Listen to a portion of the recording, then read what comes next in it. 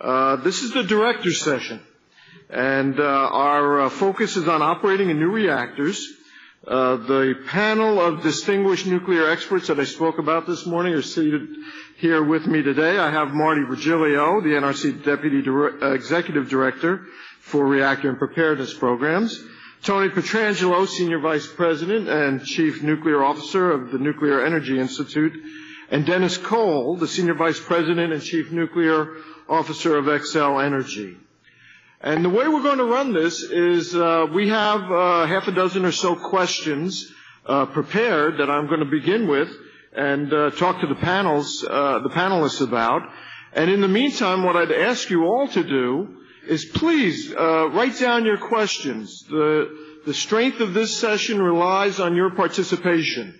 Uh, we'll look forward to getting your questions up here, and uh, we'll, we'll, ask the panelists your questions. Uh, but to give you some time to think about that, uh, we will begin with some of our own questions.